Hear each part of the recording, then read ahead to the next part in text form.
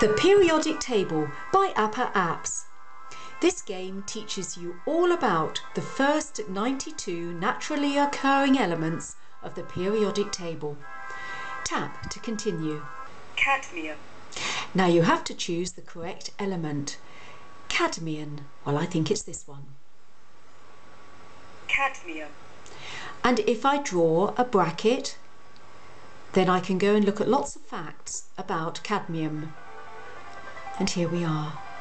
You can draw a bracket on the screen for any one of the 92 elements in this app. atomic number 23, Now, sometimes the app will ask you the atomic number 23. Hmm, I think it might be vanadium. vanadium, It is. atomic number 23, And again, if we draw a bracket on the screen, then we see all the facts in one place. If I draw a question mark on the screen, then it takes me into help.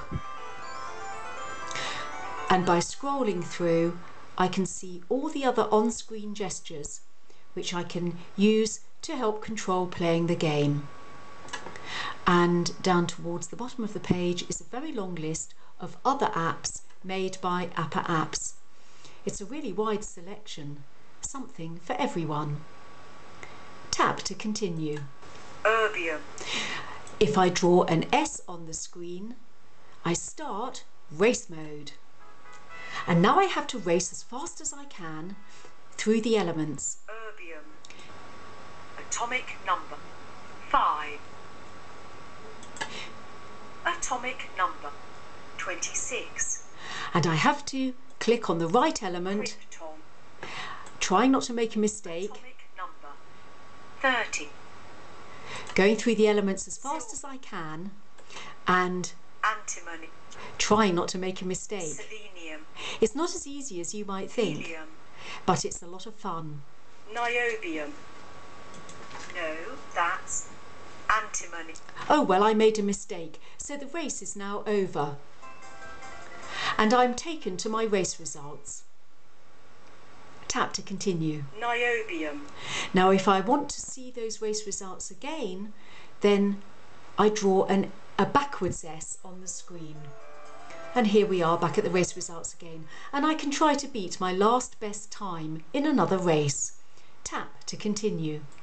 Now there's a very interesting feature called slideshow mode.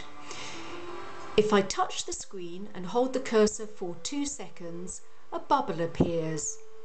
And I can move this bubble around to show me all the elements of the periodic table in sequence. If I move the bubble vertically up and down, we move through the elements by atomic number. If I move the bubble horizontally, then all the elements in one particular group are shown.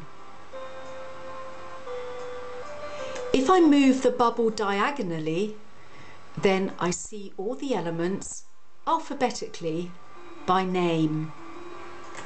And if I move the bubble diagonally in this direction, over to the left here, then I go through all the elements of the periodic table alphabetically by symbol. And there's one other very useful feature of slideshow mode. If I move the cursor around inside the bubble, then all of the facts for this particular element, thallium, are shown on the screen at the bottom.